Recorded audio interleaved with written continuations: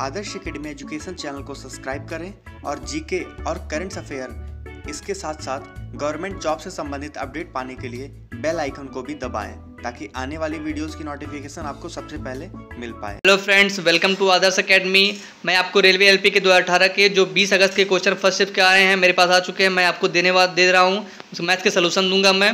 Reasoning और GS के मैं अपडेट बता दूँगा कि क्या क्या क्वेश्चन किस किस तरह से आ रहे हैं। देखते हैं फ्रेंड्स, पहला क्वेश्चन क्या आया है? एलसीएम से पहला क्वेश्चन आया था, पंद्रह, अठारह और चालीस का एलसीएम निकालना है। आसान है, मैंने पहले वीडियो में बताया था कि एलसीएम कैसे निकालते हैं। एलसीएम निकालने का तरीका, पहले दो से भाग देते हैं, फिर तीन से, फिर तीन से, फिर पाँच से, फिर तेईस से। फिर जो आया है, उसका मल्टीप्लाई कर देंगे, वही हमारा एलसीएम होगा। एलसीएम निकालना आप पहले से भी जानते होंगे। नेक्स्ट क्वेश्चन देखते हैं हम। किसी विद्यार्थी ने अठहत्तर परसेंट मार्क पाए, जो सात सौ अस्सी के बराबर है तो परीक्षा कितने मार्क्स की थी? अठहत्तर परसेंट की वैल्यू है, क्वेश्चन में दिया हुआ है सात सौ अस्सी।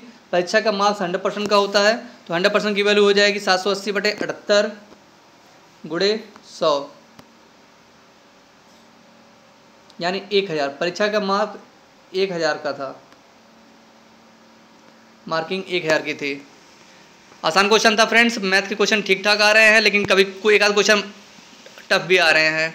आपको अगर वीडियो पसंद आता है लाइक, शेयर और कमेंट ज़रूर कीजिएगा। क्वेश्चन एक क्यूब से आया है कि किसी घन की भुजा सात सेंटीमीटर है तथा शंकु की ऊंचाई सात सेंटीमीटर त्रिज्या तीन सेंटीमीटर है। तो बताना हमें घन का वॉल्यूम शंकु के वॉल्यूम को अगर घन के वॉल्यूम से अगर शंकु का वॉल्यूम घटाने पर कितना वॉल्यूम आएगा? मैंने माइनस पहले लिख दिया है। घन की भुजा सात सेंटीमीटर है तो उसका वॉल्यूम क्या हो जाएगा? अगर हम देखें एक क्यूब के हिसाब से, घन का वॉल्यूम एक क्यूब यानी सात सात का क्यूब यानी सात, तीन सौ तिरालीस हो जाएगा। शंख का वॉल्यूम अगर निकालेंगे तो शंख का वॉल्यूम होता है pi R one by three pi R square H होता है। वन बाई थ्री पाई का मान बाईस बटे सात रखेंगे। आर एच की वैल्यू क्वेश्चन में दी हुई है, उसको रखेंगे। तीन से तीन और सात से सात कटेगा तो छाछठ आ जाएगा। तो क्वेश्चन बताया, पूछा है मुझे कि घन का वॉल्यूम शंकु वॉल्यूम से कितना अधिक है या घटाने पे बताना है इसकी वैल्यू तो शंकु घन का वॉल्यूम तीन सौ तिरालीस है शंकु का वॉल्यूम अगर हम घटा देंगे तो मेरे दो सौ सत्तर आ जाएगा कि मुझे उसका मान। पूछा घटाने पे कितना वॉल्यूम बचेगा तो दो सौ सत्तर बचेगा। नेक्स्ट क्वेश्चन देखते हैं हम। आर और एच का। आर बराबर एच बाई टू था। किसी शंकु में अगर है, शंकु और गोले का वॉल्यूम मुझे का रेशियो बताना है उसके वॉल्यूम का रेशियो यदि गोले की त्रिज्या भी आर हो, गोले की त्रिज्या और शंकु की त्रिज्या दोनों बराबर है तो उस हिसाब से हम क्वेश्चन करेंगे। वॉल्यूम को देखते हैं। रेशियो मुझे बताना है तो शंकु का वॉल्यूम और गोले का वॉल्यूम फार्मूला उसका लिख देंगे हम। एक बट तीन पाई आर स्क्वायर एच शंकु का होता है, गोले का चार बट तीन पाई आर क्यूब होता है। तीन से तीन कैंसिल हो जाएगा। पाई से पाई को काट दे रहे हैं हम। पाई से पाई को, आर स्क्वायर से आर क्यूब को यहीं काट देंगे हम तो आगे अंक लिखने के बाद नहीं काटेंगे, आसान हो जाएगा मेरे लिए यहीं। तो आर से आर क्यूब और काटेंगे तो के नीचे आर बच जाएगा, ऊपर एच है। H by four R question में कहा है आर बराबर एच बाई टू यानी एच की वैल्यू हो जाएगी टू आर एच की वैल्यू अगर हम टू आर रखेंगे और नीचे फोर आर कैंसिल करेंगे तो रेशियो वन बाई टू हो जाएगा। Ratio one by two volume का रेशियो वन बाई टू हो जाएगा। यही क्वेश्चन था। नेक्स्ट क्वेश्चन देखते हैं हम। नेक्स्ट क्वेश्चन टाइम वर्क से आया है। मैंने पहले ही कहा था टाइम वर्क से क्वेश्चन टफ आएँगे। थोड़े से लेवल में बढ़ा देता हूँ। बढ़ा के मैंने बताया था, किसी बच्चे ने कमेंट किया था कि ज़रूरी है टफ आना, लेकिन देखिए टफ आ गया आपके लिए। किसी काम को ए कर रहा है, तीस दिन में बी चालीस दिन में कर रहा है तो और सी की क्षमता ए से डेढ़ गुनी है। तो बताना है कि ए बी सी कितने दिनों में करेगा। क्वेश्चन को आसान तरीके से करते हैं। ए तीस दिन में कर रहा है बी चालीस दिन में तो दोनों का एल्सियम लेंगे, एक सौ बीस दिन हो जाएगा। ए की क्षमता चार आ जाएगी, बी की तीन आ जाएगी। क्वेश्चन में कहा हुआ है कि सी की क्षमता ए की डेढ़ गुनी है। ए की डेढ़ गुनी है मतलब इतना है।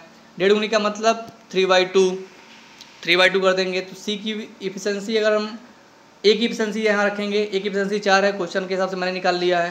सी की इफिशेंसी आ जाएगी, अगर मल्टीप्लाई करके काटेंगे तो अगर छः आ जाएगा। ए बी सी तीनों की इफिशेंसी अगर हम ऐड करेंगे तो तेरह आ जा रहा है। ए बी सी तीनों की इफिशेंसी तेरह है। हमें बताना है कि ए बी सी इसे कितने दिनों में कर सकते हैं? ए बी सी कितने दिनों में कर सकते हैं? क्वेश्चन में ये पूछा हुआ है। तो ए बी सी अगर हम देखेंगे तो टोटल वर्क हमारा 120 जो हमने पहले लाया है 120 और ए बी सी की एफिशिएंसी टोटल ऐड करेंगे, तेरह आ जाएगी। भाग देंगे तो नौ सही तीन बटे तेरह, इसका आंसर हो जाएगा। नौ सही तीन बटे तेरह, इसका आंसर नेक्स्ट क्वेश्चन देखते हैं हम। नेक्स्ट क्वेश्चन आयु से आया है। महेश की आयु, दिनकर की आयु का अनुपात दो अनुपात तीन है। पाँच वर्ष बाद यह अनुपात सात अनुपात अनुपात दस हो जाता है। दस वर्ष पूर्व आयु कितनी थी दिनकर की? दिनकर की बताने की दस वर्ष पूर्व आयु कितनी थी। तो महेश और दिनकर की वर्तमान आयु का अनुपात हम देखते हैं तो दो अनुपात तीन क्वेश्चन के हिसाब से दिया हुआ है। बाद में कह रहा है सात अनुपाते दस हो जा रहा है। पाँच वर्ष बाद ये सात अनुपाते दस हो जा रहा है क्वेश्चन में कहा है। तो हम क्या करेंगे फ्रेंड्स बाद वाले, नीचे का डिफरेंस सात और दस का डिफरेंस तीन। और ऊपर का डिफरेंस जो कि बीच में रेशियो हमारा इक्वल है नहीं। तीन से दस इक्वल नहीं है, सात से पाँच इक्वल नहीं है, यहाँ पाँच आ रहा है, यहाँ सात आ रहा है इक्वल नहीं है। तो हम नीचे के डिफरेंस से ऊपर में गुड़ा कर देंगे, ऊपर के डिफरेंस से नीचे गुड़ा कर देंगे। तो नीचे के डिफरेंस तीन है, तीन से हम दो में गुड़ा करेंगे, छः आ जाएगा, तीन से तीन में गुड़ा करेंगे तो नौ आ जाएगा। नीचे ऊपर एक है डिफरेंस तो सात और दस सेम ही रह जाएगा। डिफरेंस अब नौ से दस एक रेशियो यहाँ से भी छः सात एक रेशियो चेंज आए एक रेशियो की वाली क्वेश्चन में कहा है कि पाँच वर्ष है, क्योंकि पाँच वर्ष बाद यहाँ बोला है, यहाँ पाँच वर्ष। एक रेशियो की अगर पाँच है तो मुझे बताना है कि दिनकर की आयु। तो दिनकर की आयु में डायरेक्ट हम देखेंगे, सबका निकालेंगे नहीं, दिनकर की देख लेंगे। नौ रेशियो की वैल्यू नौ में अगर पाँच का मल्टीप्लाई करेंगे तो पैंतालीस आ जाएगा। पैंतालीस आ जाएगा। ये हमारा वर्तमान में है। क्वेश्चन में पूछा है कि दस वर्ष पहले उसकी आयु कितनी थी? तो दस वर्ष घटा देंगे। हम वर्तमान से दस वर्ष पीछे जाएँगे तो दस वर्ष घटाएँगे तो पैंतालीस में से दस गया पैंतीस। ये हो जाएगी उसकी दस वर्ष पूर्व दिनकर की आयु। आयु से क्वेश्चन हमेशा हर पेपर में शिफ्ट में आ रहे हैं तो आप देखते रहिए इसको। नेक्स्ट क्वेश्चन रेलगाड़ी से आया था। रेलगाड़ी से क्वेश्चन हमेशा आसानी आ रहे हैं, ज़्यादा टफ नहीं आ रहे हैं इसमें। रेलगाड़ी की चाल दी हुई है एक सौ आठ, दस मिनट बाद बंदे बताना है कि कितनी दूरी जाएगी। आपको पता है distance is equal to speed into time होता है। इसकी स्पीड दी हुई है एक सौ आठ टाइम दिया हो दस मिनट। हमें बताना है कि दूरी अभी किलोमीटर बताना है। तो दस मिनट को हम इसको घंटे बदल देते हैं। तो दस मिनट को घंटे में बताने के लिए साठ से भाग दे देंगे। ज़ीरो से ज़ीरो कैंसिल छः से एक सौ आठ को काटेंगे तो अट्ठारह किलोमीटर। अट्ठारह किलोमीटर इसका आंसर हो जाएगा। आसान क्वेश्चन था। नेक्स्ट क्वेश्चन देखते हैं हम। Next question, profit and loss से आ रहा है। किसी वस्तु को तेरह परसेंट लॉस पर बेचा गया। यदि उनचास रुपये और बढ़ा देते हैं तो बाईस परसेंट का प्रॉफिट होता है। तीस परसेंट का प्रॉफिट अगर पाना है तो उसे उस पाएगा तो वो कितने रुपए हो जाएँगे? ये बताना क्वेश्चन। क्वेश्चन थोड़ा और था, मैंने अपने भाषा में उसको लिखा है। तो सीपी मानते हैं, अगर हम सीपी अगर सौ मानते हैं, तेरह परसेंट का लॉस हुआ तो तेरह परसेंट का जब लॉस हुआ तो कितने में बिका? सतासी में बिका। यदि उनचास रुपये का बढ़ा देता है तो बाईस परसेंट का प्रॉफिट होता है। अगर सीपी हम सौ मानते हैं, बाईस परसेंट का प्रॉफिट होगा तो कितने बिकेगा? एक सौ बाईस में। एक सौ बाईस में। तो सतासी न बेच करके एक सौ बाईस में बिक रहा है। पैंतीस पैंतीस का डिफरेंस है इसमें। लेकिन क्वेश्चन कर रहा है कि उसे उनचासी रुपये पड़ा है। तो एक रेशियो केवल यहाँ से निकाल लेंगे हम। उनचास बटे पैंतीस। और हमें बताना है कि सीपी हमें बताना है कि तीस परसेंट तो हम CP अगर निकालेंगे तो हंड्रेड से मल्टीप्लाई कर देंगे तो सीपी आ जाएगा हमारा। एक रेशियो की वैल्यू इतनी है तो हंड्रेड की वैल्यू बतानी है। तो हंड्रेड की वैल्यू अगर हम कैंसिल करके सी पी अगर निकालें एक सौ चालीस आ जाएगा। लेकिन हमें क्वेश्चन में कहा है कि तीस परसेंट अगर वो प्रॉफिट पाए तो सीपी से हम प्रॉफिट देखेंगे अपना। तो एक सौ चालीस का तीस परसेंट का प्रॉफिट का मतलब एक सौ तीस। एक सौ तीस बटे सौ कट करेंगे तो एक सौ बयासी हमारा आंसर आ जाएगा। एक सौ बयासी हमारा आंसर आ जाएगा। नेक्स्ट क्वेश्चन हम रीजनिंग से अब देखते हैं। रीजनिंग से अपडेट क्या आया है? क्वेश्चन रीजनिंग से क्वेश्चन आ रहा है। कैलेंडर से क्वेश्चन आया है। कैलेंडर के क्वेश्चन हमेशा आ रहा है। मैंने पिछली वीडियो में कैलेंडर भी पढ़ाया है। आप कैलेंडर आपको आसानी से अगर आप डेज़ आपको निकालना है तो आप चेक कर लीजिएगा। कैलेंडर कैसे सॉल्व करते हैं? कैलेंडर से इस बार क्वेश्चन आसान आया था। ज़्यादा कुछ टफ नहीं आया था। पूछा था इसमें कि 2020 में 2020 है, कितने वर्ष बाद रिपीट होगा? तो 2020 हम जानते हैं लीप ईयर है तो लीप ईयर हमेशा अट्ठाईस साल बाद रिपीट होता है। जनरल ईयर जैसे थे, वैसे ही रिपीट हो जाएँगे, उसमें ऐड करते चले जाएँगे। लेकिन लीप ईयर जो होता है वो हमेशा अट्ठाईस साल के बाद रिपीट होता है। तो लीप ईयर से कैलेंडर से एक क्वेश्चन था एज से एक क्वेश्चन था सेलुजम से भी एक क्वेश्चन था कोडिंग डिकोडिंग से भी क्वेश्चन आ रहे हैं स्टेटमेंट से भी क्वेश्चन आ रहे हैं न्यूमरिक सीरीज़ से क्वेश्चन आ रहे हैं फिगर फिलर से क्वेश्चन फिगर फिलर का मतलब जैसे तीन फिगर दिया हुआ, एक गैपिंग दिया हुआ, बताना मुझे कौन सी फिगर होगी। मिरर इमेज से क्वेश्चन आ रहे हैं।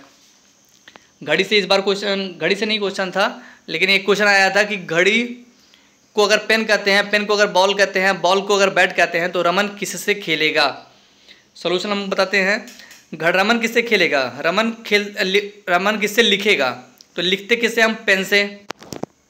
लिखते हम पेन से हैं। पेन को क्वेश्चन में कहा है बॉल यानी वो बॉल से लिखेगा। ये आंसर होगा। नेक्स्ट हमारे पास रीजनिंग के इतने ही अपडेट्स से। जीएस का मैं बता देता हूँ कि जीएस में क्या क्या क्वेश्चन आए हैं। जीएस में क्वेश्चन पूछ रहा है कि भोजन के लिए इस्तेमाल किया जाने वाला अम्ल क्या होता है? ये सी होता है, आपको पता ही है। आसान क्वेश्चन था। पीएच मान पूछ रहा है, मानव शरीर का पीएच मान क्या होता है? तो आपको है, पीएच मान का मतलब ब्लड से मानव शरीर का पीएच मान यानी ब्लड से बता रहा है, बात कर रहा है वो तो यानी सेवन पॉइंट फोर होता है। फूल, एक क्वेश्चन आया था कि फूलों का प्रजनन तंत्र से, फूलों के प्रजनन तंत्र से एक क्वेश्चन आया था। मैं इसके क्वेश्चन के लिए बता पा रहा हूँ, क्योंकि मुझे सारी चीज़ें इसके डिटेल बनाने में वीडियो टाइम लग जाएगा। ये मैं क्वेश्चन बता दे रहा हूँ क्या क्या आया है। विद्युत धारा का मात्रक पूछा था, आपको पता ही एम्पियर होगा। लाफिंग गैस से का पूछा था कि लाफिंग गैस का फार्मूला क्या होता है तो एन टू होता है। आपको पता है प्रियारी टेबल आप ज़रूर पढ़ के जाइए। प्रियारी टेबल से तीन से चार क्वेश्चन आ रहे हैं। प्रियारी टेबल आप ज़रूर पढ़ के जाइए। फीफा वर्ल्ड कप से क्वेश्चन आया था। फीफा अंडर सेवनटीन से क्वेश्चन आया था। ग्रेविटेशनल से एक क्वेश्चन आया था। एक क्वेश्चन और जीएसटी से क्वेश्चन आ रहा है। जीएसटी से आप क्वेश्चन ज़रूर पढ़ के जाएँ। जीएसटी से क्वेश्चन आ रहा है कि जीएसटी कौन से मंथ में लागू हुआ था? तो हमें पता है, एक जुलाई से एक जुलाई को लागू हुआ था। जीएसटी से क्वेश्चन आ रहा है। जीएसटी से आप ये भी चेक कर लीजिए कि कब, कहाँ से शुरुआत हुई थी जीएसटी की? जीएसटी कौन सा लागू करने वाला, कौन सा देश पहला है? आप राज्य, भारत के राज्य के बारे में पता लीजिए। जीएसटी राज्य लागू करने वाला पहला राज्य भारत का कौन सा है? एक क्वेश्चन था पीएम मोदी से आया था क्वेश्चन कि जो शिव की प्रतिमा है, उन्होंने कहाँ, उसका शिलान्यास कहाँ किया था उन्होंने? तो कोयम्बटूर तमिलनाडु में किया था उसका शिलान्यास। एक क्वेश्चन और क्वेश्चन रिपीट भी हो रहे हैं, आप ध्यान दीजिए जीएस के क्वेश्चन रिपीट भी हो रहे हैं मैथ के भी लगभग सिमिलर क्वेश्चन आ रहे हैं रीजनिंग के भी वैसे ही हैं। मैथ सारे क्वेश्चन ठीक ठाक ही हैं लेवल चेंज नहीं कर रहा है लेवल पहले उसने, पहले रेलवे ने पहले ही कहा था कि लेवल लेवल वही रखेंगे हम लेवल बढ़ाएँगे नहीं लेवल हर एक पैटर्न हर एक पेपर में सेम रहेगा तो लगभग वही है। थोड़ा सा एक आध क्वेश्चन तो आगे पीछे होगा ही, थोड़ा बहुत टाइम एंड वर्क का क्वेश्चन थोड़ा बढ़ा दे रहा है लेवल थोड़ा बढ़ाया है। एक क्वेश्चन आया था विश्व विद्युत टू में कौन सा गैस यूज़ किया गया था? तो मस्टर्ड यूज़ किया गया था। टीवी का इन्वेंशन पूछ रहा है इन्वेंशन ज़रूर, आप इन्वेंशन पढ़ के ज़रूर जाइएगा। आगे अभी दो चार पेपर है तो आप इन्वेंशन ज़रूर पढ़ के जाइएगा। इन्वेंशन पूछ रहा है टीवी का। एक क्वेश्चन आया था अश्विन से, अश्विन 300 विकेट 300वां विकेट कब पूरा किया था उसने? किस मैदान में लिया था? मैदान, नागपुर मैदान में लिया था। 300वां विकेट किस मैदान में लिया था?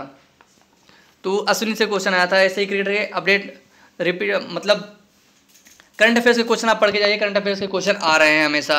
अगर आपको वीडियो पसंद आ रहा तो आप लाइक शेयर कमेंट ज़रूर कीजिएगा। मेरे पास इतने ही क्वेश्चन थे। मैंने अगर अगला शिफ्ट का मेरे पास क्वेश्चन आता है तो मैं आपको ज़रूर वीडियो बनाकर इसका बताऊँगा कि कौन से क्वेश्चन आ रहे हैं, किस टाइप के आ रहे हैं।